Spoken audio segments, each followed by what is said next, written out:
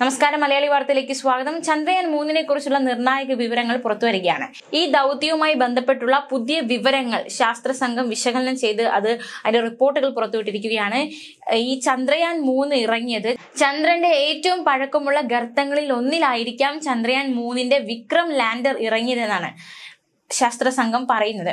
അഹമ്മദാബാദിലെ physical research ലബോറട്ടറിയിലും Indian space research ഓർഗനൈസേഷനിലെ ഗവേഷകർ ഉൾപ്പെടെയുള്ള സംഘമാണ് ഇത്തരത്തിലൊരു നിഗമനത്തിൽ ഇപ്പോൾ എത്തിയിരിക്കുന്നത്.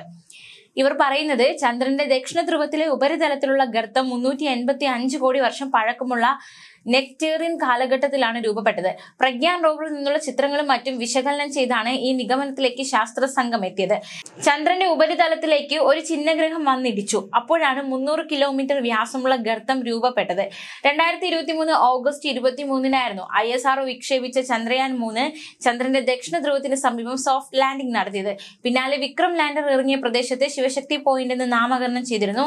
എന്തായാലും ആ ഒരു വിക്രം ലാൻഡർ ഇറങ്ങിയ ആ ഒരു പ്രദേശത്തെ കുറിച്ചാണ് ശാസ്ത്ര സംഘം ഇപ്പോൾ ഏറ്റവും പുതിയ റിപ്പോർട്ടുകൾ പുറത്തുവിട്ടിരിക്കുന്നത്. അതേസമയം ചാന്ദ്ര പര്യവേഷണ രംഗത്ത് ഇന്ത്യ മുന്നേറ്റം നടത്തിക്കൊണ്ടിരിക്കുകയാണ്. ചന്ദ്രയാൻ മൂന്നിന്റെ വിജയം രാജ്യത്തിന് നൽകിയ ആത്മവിശ്വാസം വലുത് തന്നെയാണ്. ഇനി ചന്ദ്രയാൻ നാല് ദൗത്യത്തിനുള്ള ഒരുക്കങ്ങൾ പുരോഗമിക്കുകയാണ്. ചന്ദ്രനിൽ നിന്നും മണ്ണും ശിലകളും ഉൾപ്പെടുന്ന സാമ്പിളുകൾ ശേഖരിച്ച് ഭൂമിയിലെത്തിക്കുക. ഇതാണ് ചന്ദ്രയാൻ നാല് ദൗത്യത്തിലൂടെ ശാസ്ത്രലോകം ലക്ഷ്യമിടുന്നത്. ഇതിനായി ചന്ദ്രയാൻ നാല് പേടകം ശിവശക്തി പോയിന്റിലാണ് ഇറങ്ങുകയെന്ന് വ്യക്തമാക്കി space application centre director Nilesh Desai രംഗത്ത് വന്നിരുന്നു.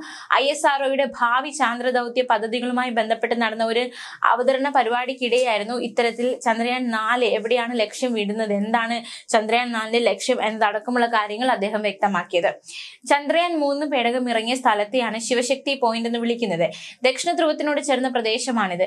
ഏറെ ശാസ്ത്രീയ പ്രാധാന്യം അർഹിക്കുന്ന മേഖല സ്ഥിരമായി ഇരുൾ വീണ് കിടക്കുന്ന മേഖല. ഇവിടെ ജനസാന്നിധ്യം ഉണ്ടാവുമെന്നാണ് നിഗമനം. ഈ മേഖലയിൽ നിന്നുള്ള സാമ്പിളുകൾ ശേഖരിക്കാൻ ചന്ദ്രയാൻ നാല് ദൗത്യത്തിലൂടെ ലക്ഷ്യമിടുകയാണ്. ഒരു ചാന്ദ്രദിനമായിരിക്കും ദൗത്യത്തിന്റെ കാലാവധി.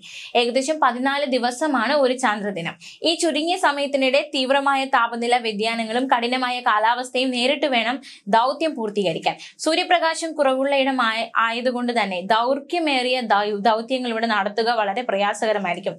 രണ്ട് വ്യത്യസ്ത പേലോഡുകളിലായി രണ്ട് വിക്ഷേപണങ്ങൾ ചന്ദ്രയാൻ നാലിന് വേണ്ടി നടത്തും.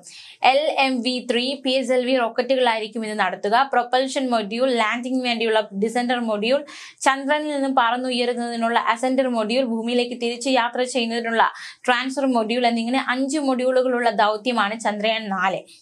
അതുകൊണ്ട് തന്നെ സങ്കീർണത വളരെ കൂടുതലാണ്. പരുക്കൻ ഭൂപ്രകൃതിയുള്ള മേഖലയാണിത്. അതുകൊണ്ട് തന്നെ കൂടുതൽ കൃത്യതയുള്ള സാങ്കേതിക വിദ്യകൾ ദൗത്യത്തിനായി ഉപയോഗിക്കേണ്ടി വരും. ജലം ഉൾപ്പെടെ പ്രദേശത്തെ വിഭവങ്ങൾ എന്തെല്ലാം എന്ന് പഠിക്കാൻ ഈ ദൗത്യത്തിലൂടെ സാധിക്കും. ചന്ദ്രനിൽ നിന്ന് സാമ്പിളുകൾ ശേഖരിക്കുന്ന ദൗത്യം വിജയകരമായി പൂർത്തിയാക്കാനായാൽ ആ നേട്ടം കൈവരിക്കുന്ന നാലാമത്തെ രാജ്യമായി ഇന്ത്യ മാറും. ന്യൂസ് ഡെസ്ക് മലയാളി വാർത്ത.